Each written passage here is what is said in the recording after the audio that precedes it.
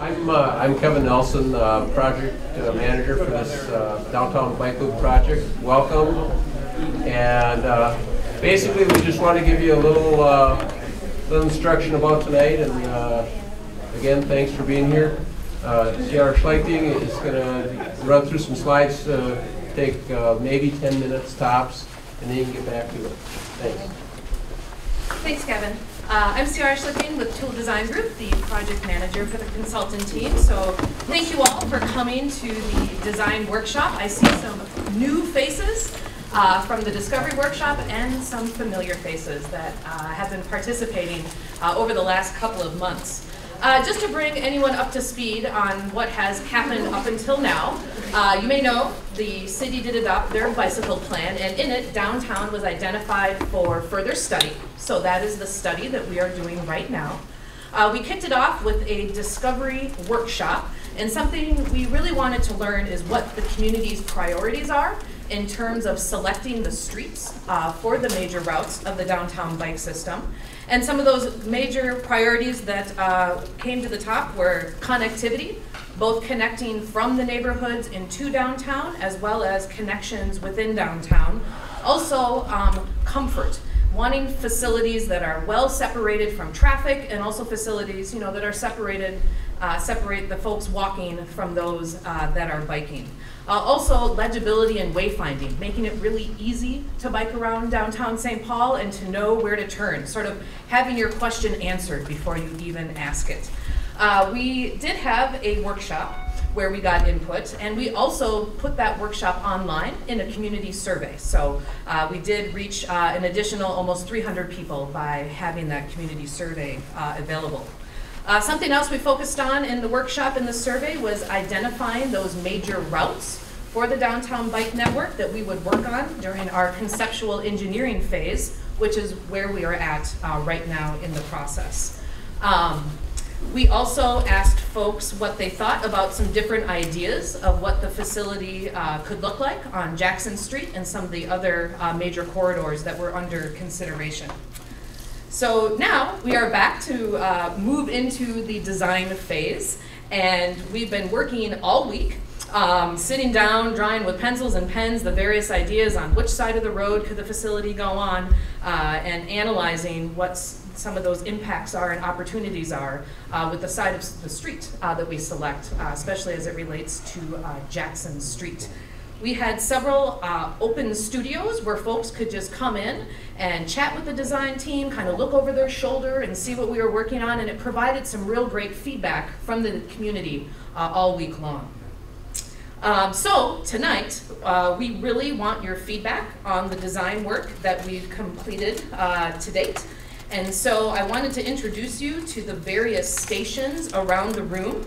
Uh, we want to make sure Post-it notes are your main way of leaving your ideas with us. Uh, of course, what's really great is you'll have the opportunity to talk to the design team uh, that's been working, uh, ask them questions. Um, and so to just orient folks for the materials that are around the room, uh, in the very back, straight back, is the network map. That was the result of the discovery workshop. So that's in the back as well as some display copies of the project briefing report. It's not really brief, it's about 20 pages long, but that chronicles all of the input uh, and the work that we have done uh, leading up to the design workshop. Uh, in the corner uh, on the right-hand side, back over there, are the conceptual ideas for Jackson Street. We did uh, create a concept having the protected bikeway on the west side we also looked at a concept having it on the east side of Jackson Street. So you can see the differences between the two. There's also a summary of how those, uh, the east versus the west meets those priorities that the community told us uh, was very important to them. We also have some detailed intersection designs that are on the smaller uh, sheets of paper back there. We also have been working on Kellogg Street. Now, Jackson's nice and straight. Kellogg is a lovely sort of U-shaped uh, on the wall back there. So that is uh, a concept that we'd love to get your feedback on as well. Uh, over uh, in the middle, uh, we started to work on uh, St. Peter as well as the 9th and 10th Street route. and at this point, we just have some two interesting intersections for you to provide feedback on.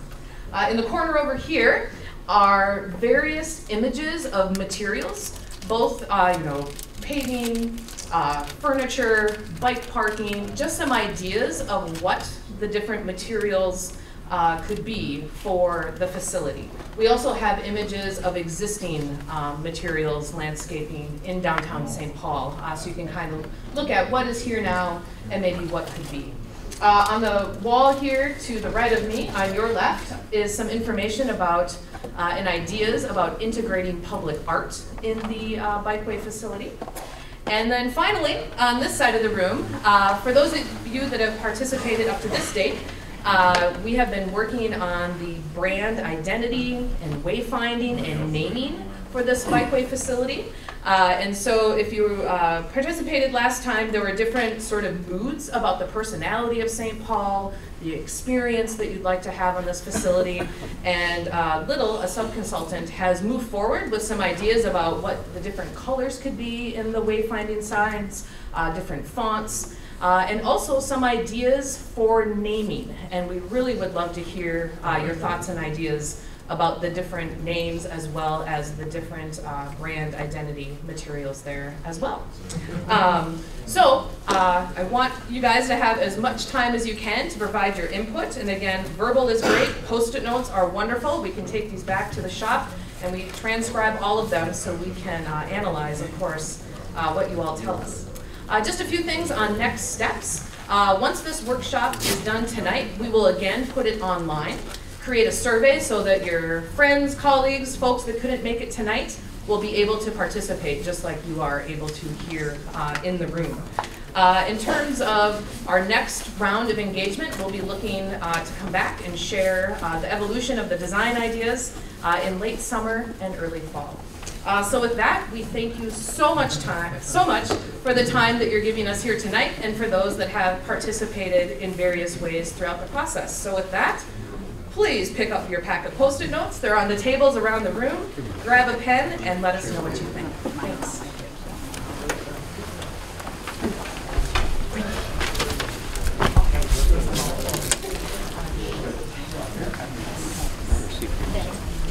how many cars right. are tripped. Uh, they also use video to look at to, to double check that the counts were right. And we also took counts at critical intersections to see how many people are turning right and left.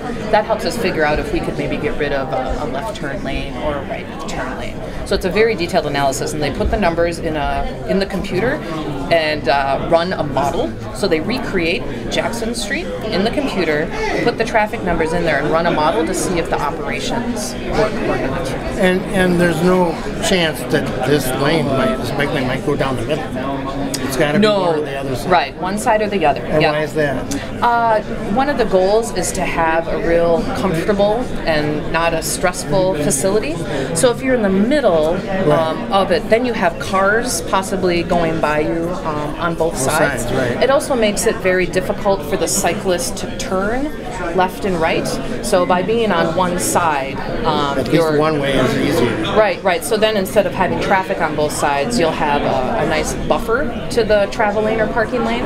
Uh, then the two-way bikeway, another buffer, and then the sidewalk. So you're also separating pedestrians from cyclists because you know cyclists move a little bit faster than Right, pedestrians, so you want to have a buffer there too. Right. Okay. Yeah, and there is uh, pictures and much more detailed information. Right. I am going to go look around. Yeah, I yeah, just wanted absolutely. to get a general basis. there. And then Kellogg, is that going to be reconstructed too, or That is not scheduled for reconstruction. So, th- but there is the um, what is it, the river balcony project going on right now. Right. So that's one of the reasons we wanted to do. That was sort of the, the second one we wanted to focus on, so that we could coordinate with that other 8-80 Vitality Fund project. right? And so, where would the lane go on?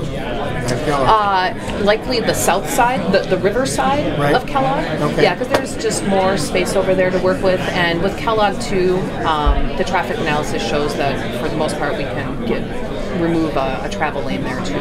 oh, okay. Rather than like go onto the boulevard and Right. So in some areas, in. yeah, yeah. So where like the river balcony is happening, there could be a future opportunity to dip in um, and be closer to the river, but that that will have to be part of that planning process too. So um, we've been looking at both, kind of dipping in closer to the river near the balcony, and also staying um, on the street. Okay. And the facility too will be up on sidewalk level, so you'll be you know separated up on the curb from from traveling. the Okay, traffic. from the cars. Yeah, Okay. yeah. Yeah, so there's pictures, and sometimes they speak about, you know, actually the picture over here, um, if you want to kind of see what it looks like, bring it over here.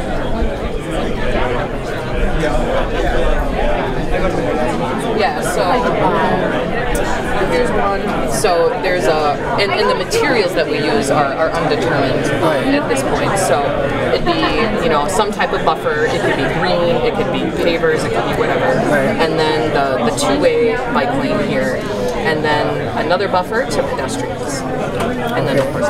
Is this picture available electronically somewhere? Uh, not yet, but it will likely, when we um, put together the survey, it would be available online that way. Yeah, my problem is I've got to get this story in by next Tuesday Okay. and, uh, or Wednesday at the very latest. So there's no possibility of getting some sort of You know, I should give you my card, um, or I could give you my email address if you wanted to follow up. I mean, taking away part. So has the has the route been chosen to minimize that? Or? Yeah, so um, through the discovery phase, uh, we know that business owners and property owners aren't likely to always come to open houses like this. So we had one on one interviews with several businesses and property owners. And so, very loud and clear, maintaining as much on street parking as possible is something that is critically important. So, um, when we're looking at how we get our space for the bikeway facility, we first look at can we take away a travel lane? If that doesn't work, the second option is to just restrict parking during the peak travel periods during rush hour. And then the third option is to remove parking. So if you look at I'm Jackson, sorry. oh, I'm three sorry. options. Yeah, so um, remove travel lanes. Uh, only restrict parking during the peak rush hours. So, like right now on Jackson Street, you can't park near the interstate from 4 to 6. It's the red meters you see out there. And then our the last um, thing we look at is removing parking. So, for example, on Jackson Street, when we were looking on the east side versus the west side, there's about 100 existing metered parking spots on Jackson. If we have the facility on the west side, we only lose 20 parking spots. And we put the facility on the east side, I think it's a little bit closer to 40. And so we're definitely heavily leaning towards the west side. So that's something And how- I'm sorry. How many on the west? the numbers over there, I want to say it's 36, 40, approximately. Approximately. And how many on the east? Uh, 20. I'm sorry. West would remove about 20, and if it was on the east, it would be closer to 40. What's been the balance between those three options that we've been uh, getting into? The balance? What do you mean? Uh, how, how many of each, each category? I mean, how? Oh, right, right. So with Jackson, this, 40%. oh gosh, yeah. I don't- um, with with Jackson Street, that's the only one where we've gone to this level of detail of like you know actually counting um, the parking spaces because that's the, the stage that we're at. So for the balance of it, uh, for the most part, it's removing uh, travel, and then it's um, you'd have to go over to the maps over there to see the actual um, blocks where there might be some parking removed. Okay, and then about 20 spaces. Right, so I think there was this idea that somehow putting the facility in meant you would lose all of the parking on one side, but you know that's um, not the case with Jackson. We're able to remove a travel uh, to get most of our space. and St. Peter's is awfully narrow. I know by It down is. by the Yep. So the uh, the idea that we had folks comment on uh, during the discovery workshop did remove uh, bay of parking on St. Peter because that is a much uh, tighter street. We're still exploring removing a travel lane. However, there's some implications with the state fire code that they like a little bit more width. So that's something we're still still working on. So that will that will take a bit more exploration and conversation. And, and why was St. Peter chosen over Wabasha? Yeah, so some of the main reasons uh, that the connectivity piece. So on the north end, St. Peter does go up and over the interstate and connect with sort of Rice and John Ireland, and you avoid all the cars getting on uh, 94 and 35. You know, at Wabasha, you interact with all those cars at the interstate.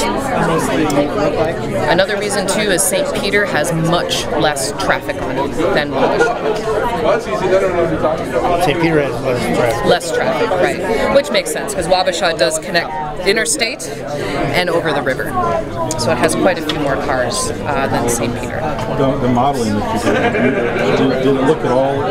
I'm from outside the city, so when I come in, it's always a hassle trying to come in to a place where I can get at a store or a restaurant or something like that. Parking. Is there any modeling about how it's going to impact people coming into the city for a night or for during the day? Yeah, uh, for Jackson Street, we did the detailed traffic modeling because we're going all the way to final design. Uh, for the other routes, we went out and counted um, the average daily traffic. So that's how we got our new numbers and the counts um, for how many cars are typically on Wabasha versus St. Peter. So that's, that's a count of the number of cars, but doesn't really say, say how people are using the facilities. Uh, well, with Wabasha, since there is more traffic, it is the through movements, you know, to get up to the interstate and also over the river. St. Peter's a little bit quieter because it doesn't go over the river and it doesn't connect to the interstate. Um, so St. Peter, you could derive, is serving much more um, local trips, uh, maybe less than those regional trips. hmm Yeah, and there's you know some some nice destinations and restaurants along there too, close to Rice Park Landmark Center. Yeah, if you can get to them because from Bart with Bart, it takes some away. I'd say. But I, th- I guess it'll be. wh- Where's the bay you're talking about between what streets? Pardon? You said you're, there's talk of removal of a bay of parking. Oh, oh, that that's uh, the uh, the whole lane of parking. Oh, for the all the way part. along St. Peter. Yeah, and we From haven't. all the way to what, Kellogg? Right now, that's one of the options. Yep, and that's Because only why parking on at least on a one side, right, right, yeah, and one no side. parking on St. Peter. Yeah, so here's where. Oh no, no, no, no. It'd be you'd still have parking on either the east or the west side of the street. So that's um, we haven't gotten to that phase yet to look at would the facility be on the west side of St. Peter or the east side of St. Peter. So that's still work we have to do. But I mean, say for instance, between I know between Seventh and like Kellogg, there's parking only on one side of Seventh. Right. So, So we would look. I mean, ideally, you would put it on the side that already doesn't have parking, so you're not losing. right, but so you would not remove that parking. the parking that's already gone. I mean, it's No, no, no. I'm saying there's parking there now. Mm-hmm. You would remove that though, even if you put this the thing on the west side. well, there wouldn't be any reason to remove parking on the east side if the facility was on the west side. The parking would. But then you're down to one lane on that street. Uh, if if the the street is down to one lane, that means we have parking on both sides. How are you doing? I'm good. I was gonna come. My, I'm picturing Yeah, so think of it as that parking on there's- one side and the bike lane on the other, and so there'll be that one lane in between those two things. Uh, well, what it would look like... There's only two lanes now, right? Uh, well, there's two lanes and two lanes of parking. So you'd be able to either remove a travel lane or remove a parking lot. But you can't park on both sides all the way along St. No, Peter. not live there, visit it. Correct. Correct. So ideally, you'd put it on the side that already has less Ten years parking. maybe. Okay. All right. I haven't seen In an ideal situation, So we're there's other talking the west considerations. side. too. Well, anyway, it's Yeah, I mean, I think that that would mitigate, you know, less parking loss. So when we were looking at it, I mean, the west side probably. Because I mean, I know up by the hospital there's parking on both sides, There's like there's this, and there's like that this might cause a redeveloped problem area that removing you know like parking there. could be pretty nails and everything.